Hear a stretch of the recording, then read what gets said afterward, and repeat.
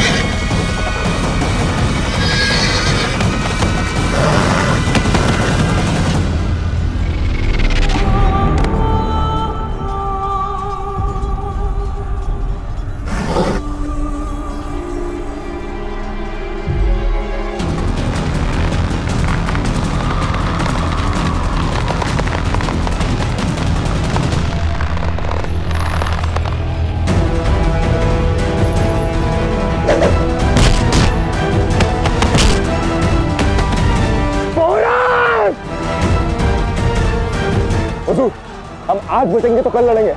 हमें पीछे जाना चाहिए हुजूर।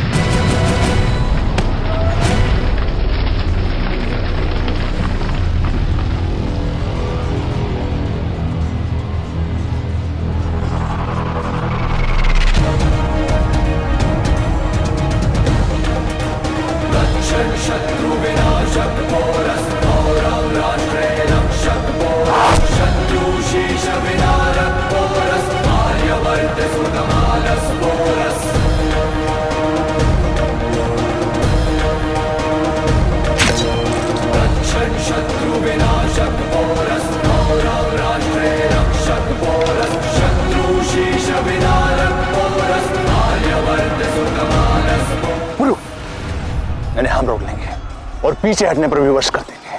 वैसे भी यवनों के पास अधिक सेना शेष नहीं है। तुम जाओ।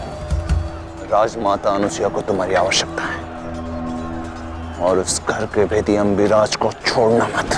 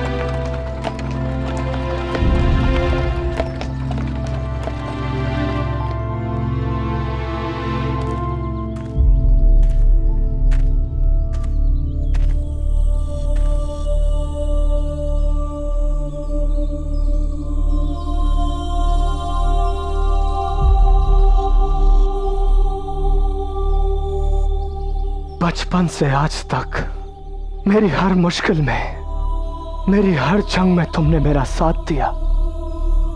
तुम्हारी वफादारी सबसे ऊपर रहेगी ब्यूसिफिलिस। आज मैंने अपना सबसे अज़ीज़ दोस्त खोया है।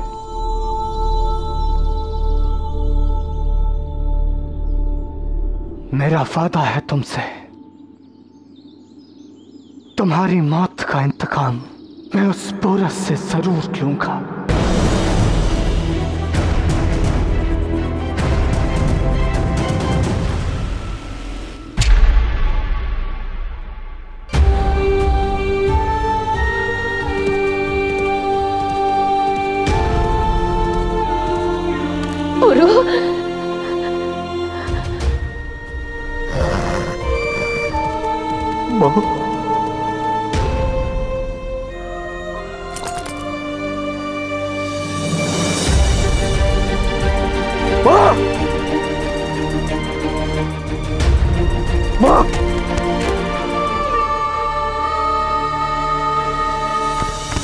माँ माँ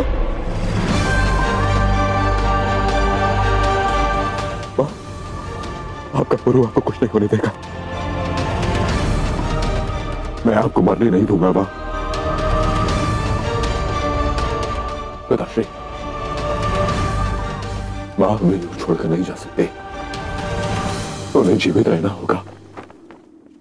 हम उन्हें कुछ नहीं होने देंगे। हमारे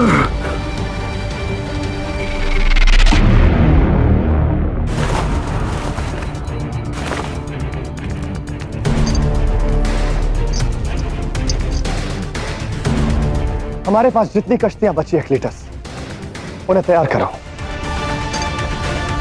और जितने सिपाही हम ले जा सकते हैं, उन्हें उन पर चढ़ाओ। हम आज रात ही बारह मुल्क पर थावा बोलेंगे। लेकिन हमारी फौज अभी जंग के नुकसान से उभरी भी नहीं है, शाह। हमें थोड़ा वक्त चाहिए।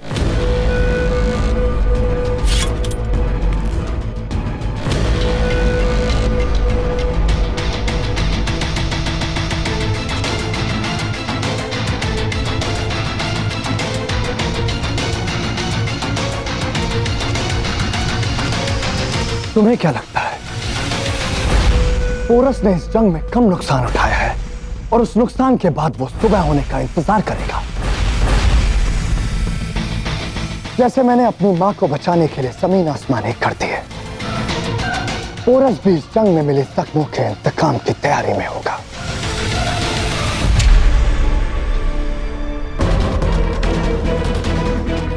छोड़ दो मुझे पोरस अगर मेरे किस्म पर एक भी खर होता है तो लेके अंदर तुम्हें छोड़ेगा नहीं। सोच समझ के करना पोरस तुम्हें अपने किए पे पछताना पड़ेगा। पछताने का समय है अलेक्जेंडर का महारानी ओलंपिया। अब तक आपको सम्मान और आदर दिया क्योंकि आप हमारी अतिथि थी। किंतु अब आप जानेंगी कि जब हमारी सहनशीलता की पराकाष्ठा हो जाए और अतिथि अपनी सीमा लांघते हैं। तो हम भारतीय उस अतिथि के साथ क्या क्या कर सकते हैं? इस रथ पर स्वयं चढ़ जाइए। अन्यथा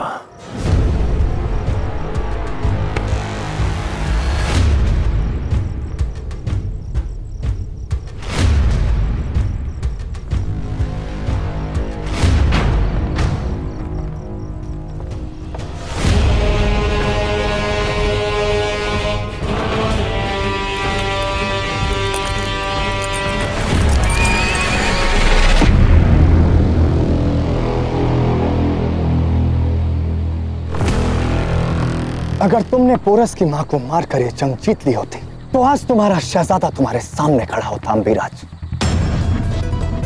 मगर तुमने ऐसा नहीं किया। तुम पोरस की माँ को जख्म देकर लौट आए। पोरस के गुस्से की आग को चिंगारी दे आए और उस आग को अपने पीछे भागता देखकर मैदान जंग से वापस भाग आए।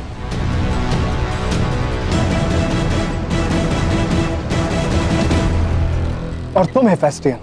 तुम्हें हर कीमत पर पारसीन को लाने के लिए भेजा था।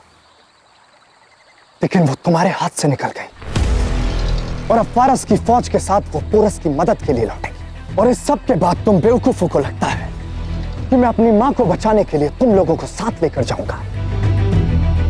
सम्राट।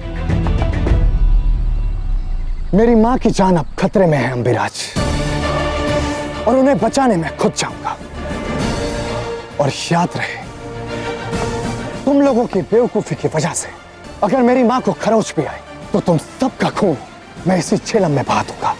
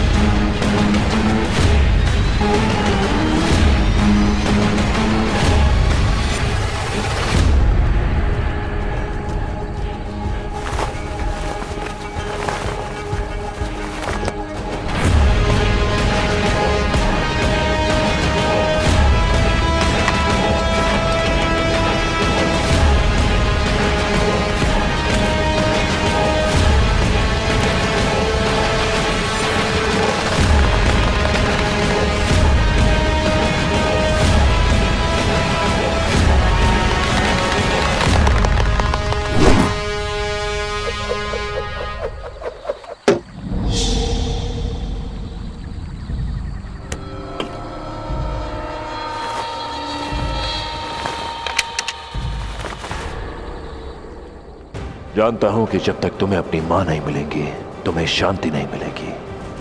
तो आओ, मैं तुम्हारी माँ के साथ पौरव राष्ट्र की उत्तर सीमा से सटे पर्वत की चोटी पर हूँ। आशा है कि इस खेल का अंत शीघ्र होगा। तुम्हारा अंत।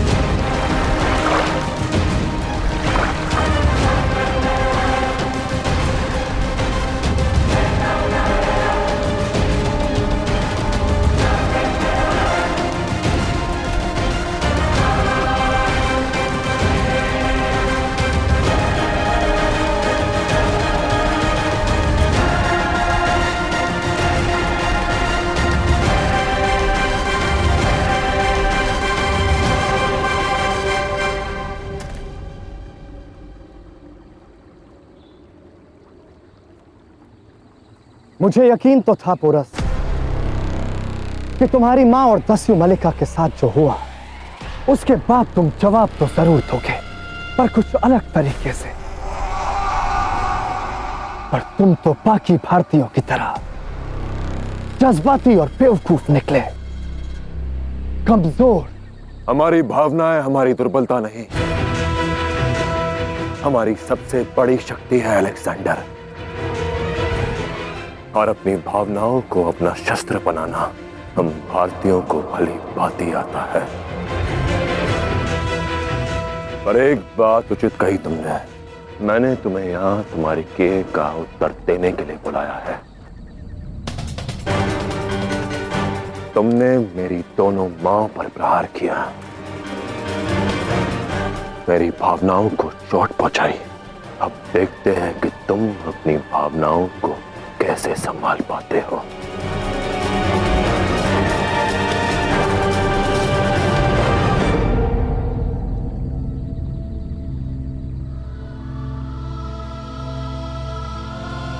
माँ। अलेक्जेंडर मेरे बेटे।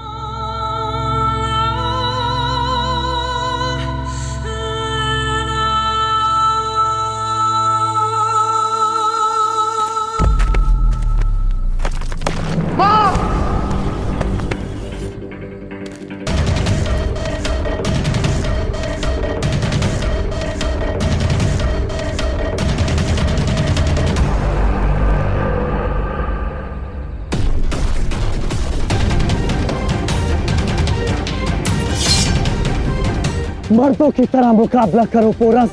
ये पौरुष भी मैंने तुमसे ही सीखा है, अलेक्जेंडर। अब एक कदम भी आगे बढ़ाया तो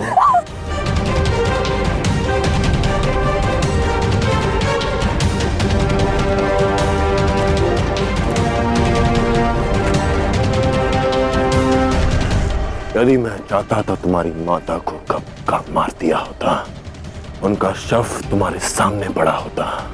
तुम चाहते क्या हो, पोरस? मूल्य। संसार में हर एक वस्तु का एक मूल्य होता है, अलेक्सेंडर। तुम अपनी माँ को जीवित चाहते हो तो एक व्यापार करना होगा, और मुद्रा होगी। जीवन। प्राण के बदले प्राण। मैं तुम्हें तुम्हारी माँ तब सौंपूँगा। जब तुम मुझे राज सौंपोगे।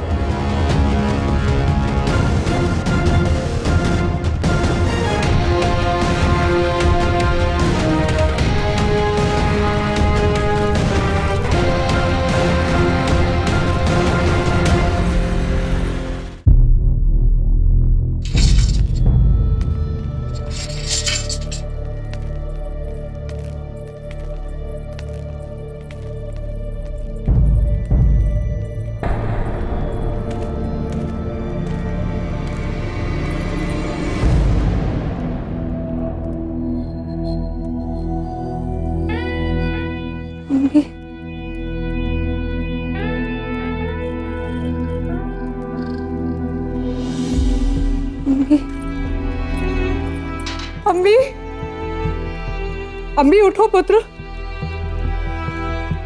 अम्बी अम्बी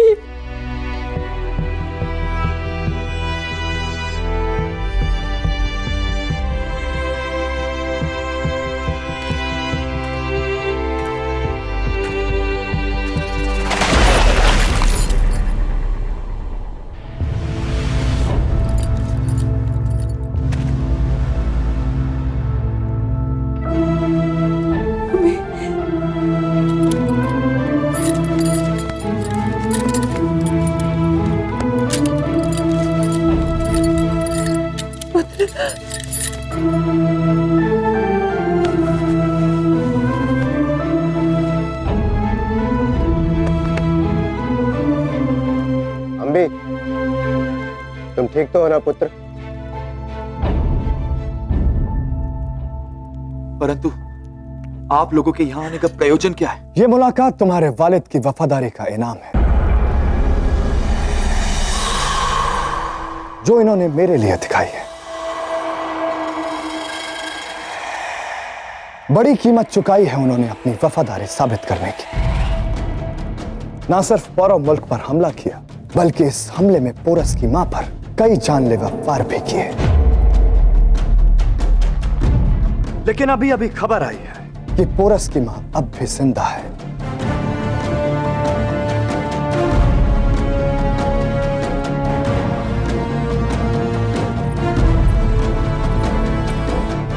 मेरे पुत्र को छोड़ दीजिए सम्राट दया कीजिए। नहीं माँ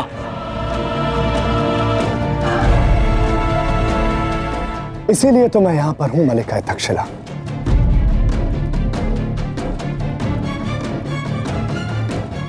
अंबिकुमार की बेड़ियाँ खोल दी जाए और उसे आज़ाद कर दिया जाए।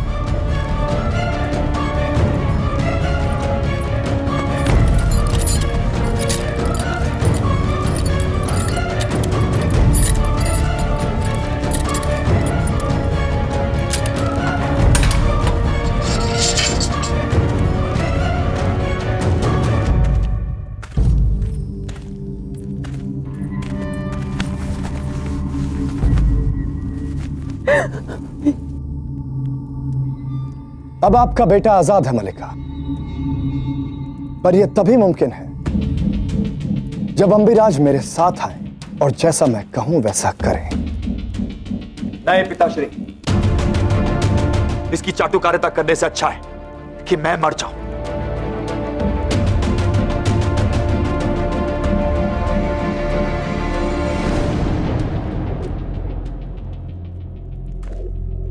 आप क्या काम करवाना चाहते हैं सम्राट? तुम खुद को पोरस के हवाले कर दो अंबिराज जिसके बदले मैं अपनी माँ पोरस से वापस ले सकूँ। ये नहीं हो सकता। मैं कभी किसी पौरावासी के सामने नहीं झुक सकता। और मैं पुरु के सामने आत्मसमर्पण कभी नहीं करूँगा। अब इसके लिए चाहे आप हमें मृत्यु दंड दे दें।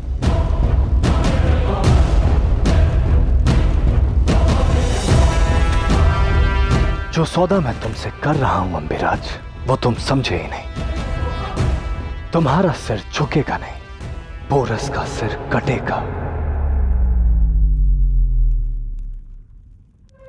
हम दोनों मिलकर इंतकाम लेंगे पौरव मुल्क से, और इस बात का ख्याल मैं रखूँगा कि पोरस तुम्हें कोई नुकसान ना पहुँचाए। आपकी योजना क्या है?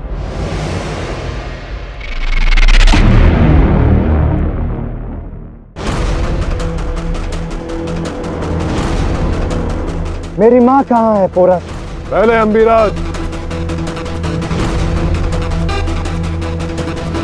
मेरी माँ के हथियारे को मुझे सौंप दो और अपनी माँ को यहाँ से ले जाओ।